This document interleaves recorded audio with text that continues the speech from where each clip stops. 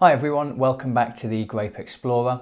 In this series of videos, we are taking an in-depth look at WSET Level 2. This is part 3, so don't forget to check out the other parts in this series.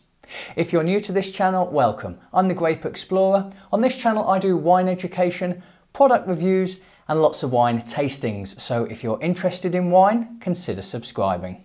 This is part three and part three is all about learning outcome number three. And there is an awful lot to unpack here because learning outcome three is all about understanding the environmental influences, the grape growing options, the winemaking and bottle aging influences, and the style and quality of wines made from the principal grape varieties. So there is a lot to unpack here because when you're dealing with the principal grape varieties, this is where you're actually going to find the bulk of the questions being asked as part of that level two exam. So a lot of attention needs to be paid to the varieties here. So what are the principal grape varieties that you cover at level two? Well, for black grapes, it's Merlot, Cabernet Sauvignon, Syrah or Shiraz, depending upon where in the world you are, and Pinot Noir. And then for the white grape varieties, we're looking at Chardonnay, Pinot Grigio or Pinot Gris, Riesling and Sauvignon Blanc. And for those eight principal grape varieties, there are a number of assessment criteria you need to be looking into as well under Learning Outcome 3. Those assessment criteria are being able to describe the characteristics of those principal grape varieties, being able to describe how the environmental influences and grape growing options are going to impact the characteristics of those grapes, being able to describe how the winemaking options are going to impact on the various styles of wine produced by these different styles of grape, describing how bottle aging is going to impact the grape varieties, being able to describe the grape varieties from their specific geographical indicators, being able to compare the styles and qualities of wines from various regions globally, and finally being able to state regionally important labelling terms which might indicate the style or the quality of wine made from those principal grapes. So as you can see, a lot to get through there. And as with other videos, we're going to tackle each assessment criteria one by one with some example questions to give you a feel for what you might get asked as part of that exam. So let's jump straight into assessment criteria number one. This is all about describing the characteristics of the principal grape variety, so I won't go through those again, but what you do need to be able to talk about are the colours, acidities, aromas, flavours and sugars leading to potential alcohol of each of those different varieties. So we've got our white grapes there, and then on our next slide we've got our, our black grapes. So again, the difference between the white grapes and the black grapes is for the black grapes you need to be able to talk about the tannin level in the wine. So when we talk about the basic characteristics of wine, we're talking about some of the aromas you might expect, as well as some of those all-important characteristics when tasting the wine. What's it like on the palate? What's the acidity like? What's the tannin like? Is it medium, high, low? Those are the types of things you need to be thinking about under this assessment criteria. Let's take a look at some example questions then to get you comfortable with what to expect. So which of the following would you consider to be aroma characteristics of Pinot Noir? Would it be black plum and blueberry? Would it be raspberry and red cherry? Would it be lemon and gooseberry? Or would it be peach and pineapple? The way that this question is structured is very typical of WSET level 2. I found when I was doing my exam that often I could discount a couple of these immediately and then really start to focus on those more appropriate types of answers. And the reason I say that is clearly two of the answers here are associated with white grapes and only two of them are associated with black grapes. So it's going to come down to what you've learned through the book about Pinot Noir and you'll learn that raspberry and red cherry are considered aroma characteristics of Pinot Noir. Moving on to another example now. In a hot climate, what would display tropical fruit aromas such as pineapple or mango?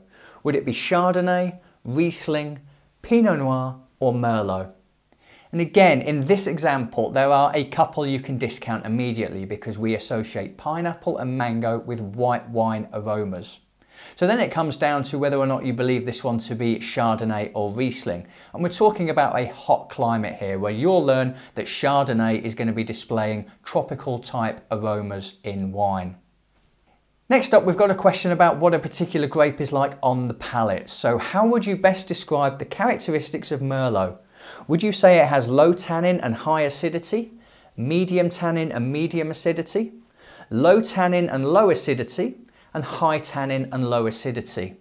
And what the WSET syllabus does, and, and, particularly within the workbooks that you get given, is it will give you this information pretty early on in the section about Merlot. So you'll understand that it's medium tannin and medium acidity, how we best describe those characteristics. And we'll have one more question under assessment criteria number one. That's describe the key characteristics of Cabernet Sauvignon. Would you say it's deeply coloured with low tannin, thin-skinned with low tannin, deeply coloured with high tannin, or thin-skinned with low acidity? Another example of a typical question you might get asked and the typical structure you can expect those questions to be in. And again, the book is going to cover this, but in the case of Cabernet Sauvignon, we'd be talking about a grape that is deeply coloured with high tannins. Now that we've been able to look at some of the basic characteristics of grapes under assessment criteria number one, let's move on to number two, where we're starting to describe how environmental influences and grape growing options are going to impact the characteristics of those grapes. Now there is a little bit of crossover as we go through the assessment criteria. Here we're going to be looking at the climate, cool, moderate, warm. We might be looking at the harvest and how picking grapes early compares to picking grapes late. And actually that is something we covered under part one as well. And then we're also going to be talking about the concentration of grape sugars where we're going through extra ripe, noble rot, frozen grapes. And again, this is where you'll start to see crossover between learning outcomes because in part one, learning outcome one, we talked a little bit about underripe, ripe and extra ripe.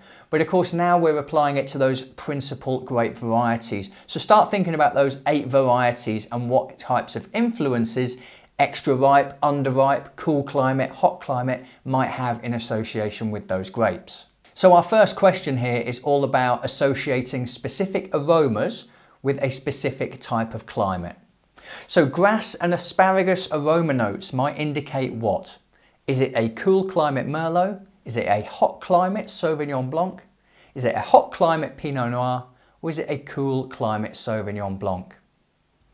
So this is where we're starting to apply what we might have learned previously on some of the other learning outcomes, but now we're specifically putting it to those eight principal grape varietals. In the case of grass and asparagus as an aroma, you would be associating that with cool climate Sauvignon Blanc. Now let's do another question along similar lines. So what aromas would you expect from a hot climate Cabernet Sauvignon? Would it be red cherry and strawberry, mango and papaya, lemon and green fruit or blackcurrant and black cherry? Again here it's easy to separate two answers out correctly from two wrong ones. We've got some white wine aromas and some red wine aromas here. But the key thing here is picking out the right ones for Cabernet Sauvignon, and that is going to be displaying blackcurrant and black cherry aromas. And let's go through another example of aromas with climate. So dark chocolate and sweet spice are aroma descriptors for what? Is it going to be a hot climate Shiraz, a cool climate Pinot Noir, a hot climate Chardonnay, or a cool climate Pinot Gris? Again, we've got that split, black grape from white. So pick out which one's correct and then start to deduce from what you've learned, which is going to be the correct answer to apply. Here, when we're talking about sweet spice and dark chocolate, we're going to be thinking about a hot climate Shiraz, those styles from Australia in particular. Now let's have a think about how influences in the vineyard might actually affect one of the key principal grape varietals. So a climate that is too cool is going to result in what types of aromas and flavours for Pinot Noir? Are they going to be red cherry aromas? Are they going to be excessively vegetal? Are they going to be blackberry notes? Or could they be lime and peach aromas? And the thing here is we're using the phrase too cool, which might suggest that the grapes are actually under-ripened. Now Pinot Noir, even in, in cool climates and something producers might go for, are sometimes kind of stalkier, greener types of notes. But of course if that's too cool, it's going to be excessively vegetal and that's the correct answer here. So we're going to move on from conditions in the vineyard and how that might affect the principal grapes to winemaker options in the winery and how that's going to affect the grapes.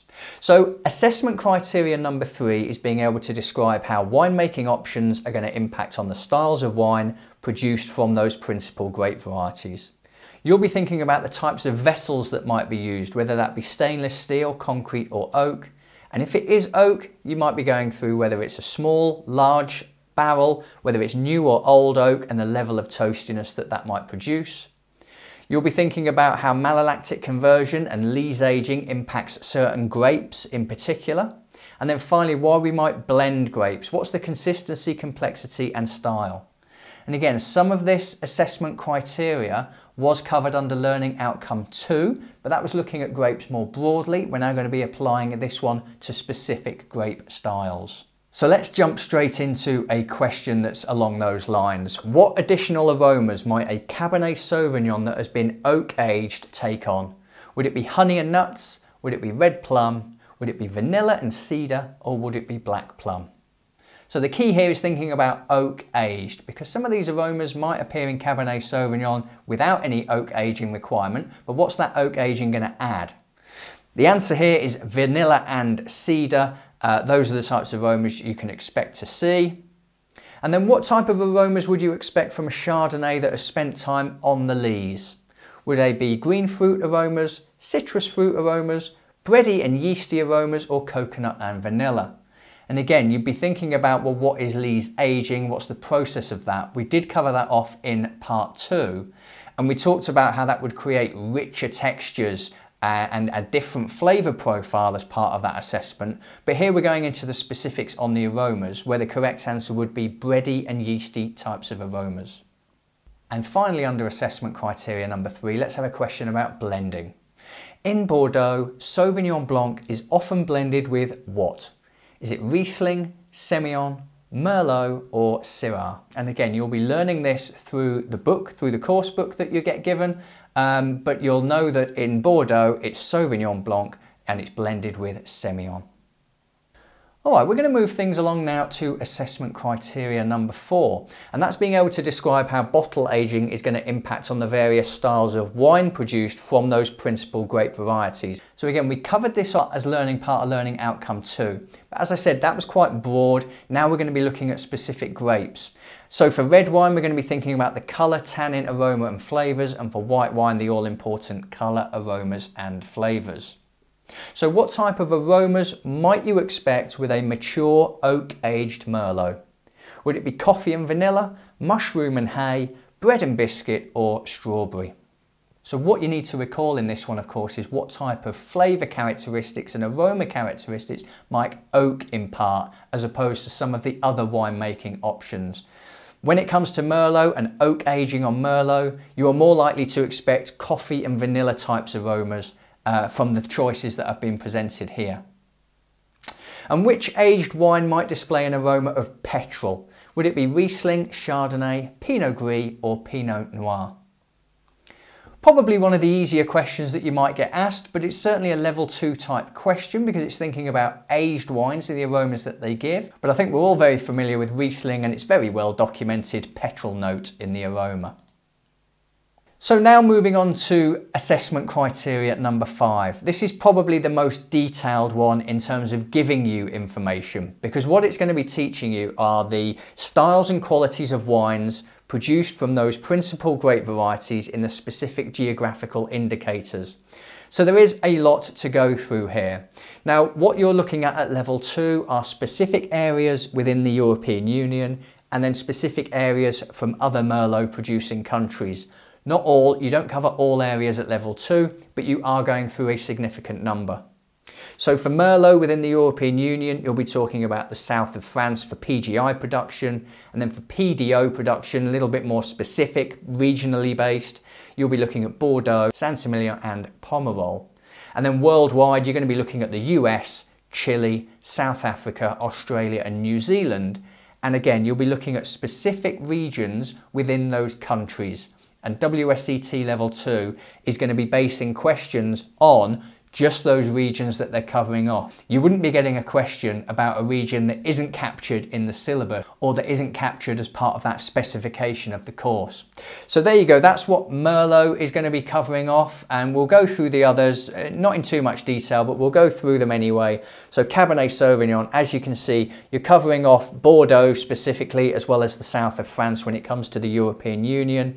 And then within other wine producing countries, we're looking at the USA again, Chile, South Africa, Australia and New Zealand.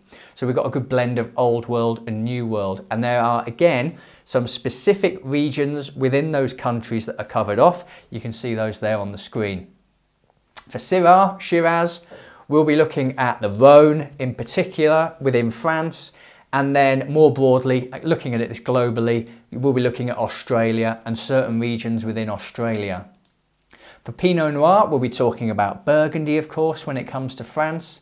And then for the rest of the world, we've got the USA, Chile, South Africa, Australia, and New Zealand. A very global grape covered off at level two there. For Chardonnay, we're going to be, again, talking about Burgundy uh, and spe some specific regions within Burgundy.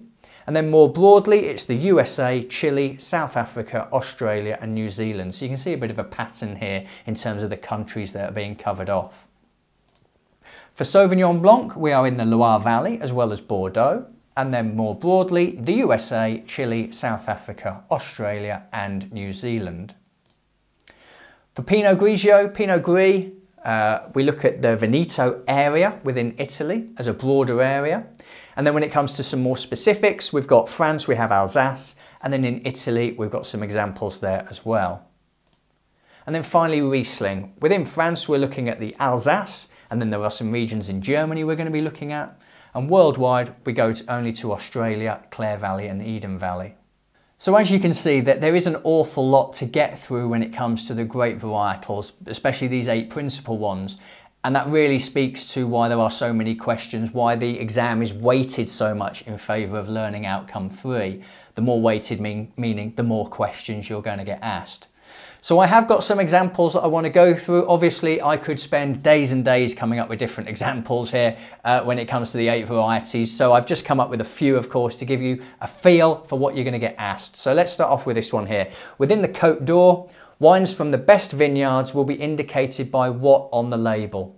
Is it Grand Cru, Classico, Vin de France or Bordeaux Supérieur? And again, this is just getting you used to the principal grape varieties from the regions that they're going to be grown. So we know that when it comes to uh, the Côte d'Or, that's in Burgundy, we'll be looking at Pinot Noir.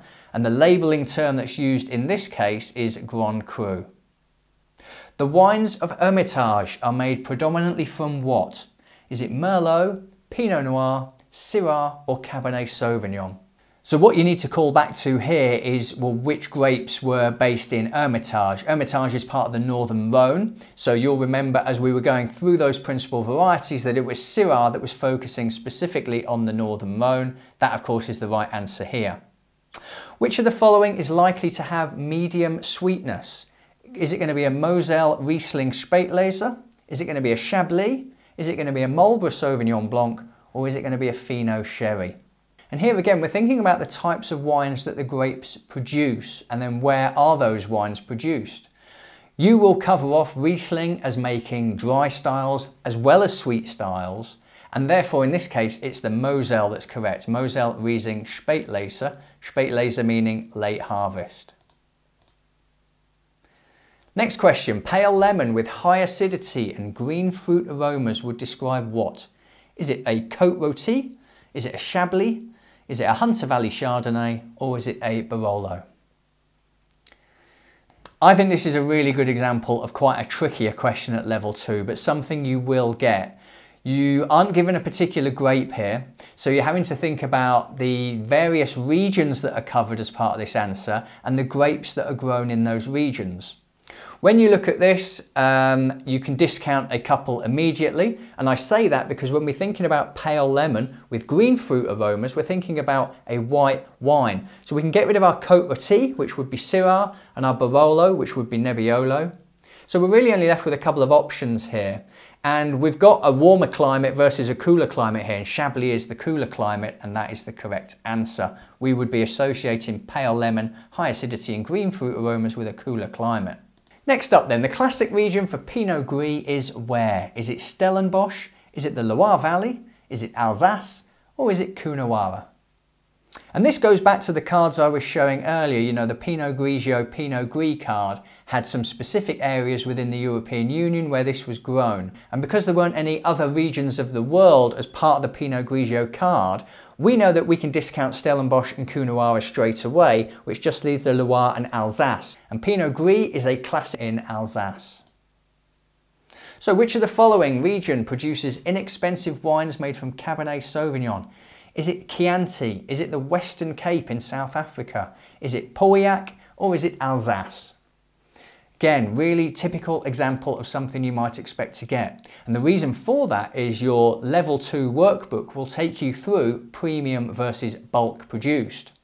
So there's a couple we can discount here again. The Alsace and Chianti are not known for their Cabernet Sauvignons, Pauillac in Bordeaux is known for expensive wines, so that only really leaves one option, that's the Western Cape in South Africa.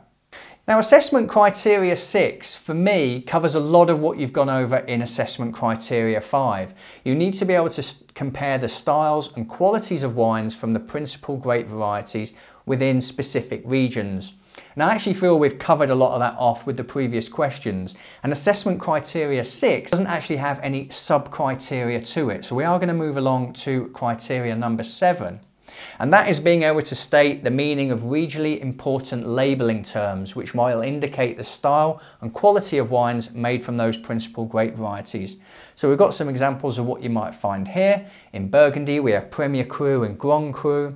In Bordeaux, we have just the labelling saying Bordeaux. It can then go on to say Bordeaux Supérieur, Cru Bourgeois, or Grand Cru Classé. In Alsace, we use the term Grand Cru. And then in Germany, we're going to be going through some specific indicators of the types of wine that they produce.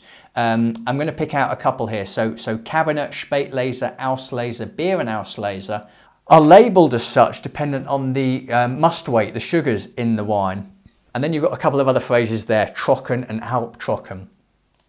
So let's look at a couple of questions based on labelling. Which of the following is a labelling term in Alsace? Is it Premier Cru, Cru Alsace, Alsace Superior or Grand Cru?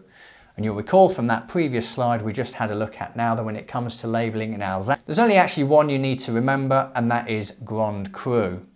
And then Trocken on a wine label indicates what? Is it that the wine is sweet, that the wine is dry, that the wine is three years old, or that the wine is barrel aged. So you don't necessarily need to know German uh, in order to be able to uh, answer this one, because of course you do learn the label terminology as you go through this. But for those of you who aren't sure, trocken means dry. It would mean the wine is dry. That's everything that's covered off as part of learning outcome number three. It's where the bulk of your WSET coursework is going to be spent, understanding those eight varietals and being able to answer a number of questions about the styles, the regions, the winemaking options. It is indeed a very in-depth look at those styles and that's where, as I say, a lot of the questions are based. Don't forget to check out the other videos in this particular series, but for now, I'm the Grape Explorer. See you again soon. Cheers.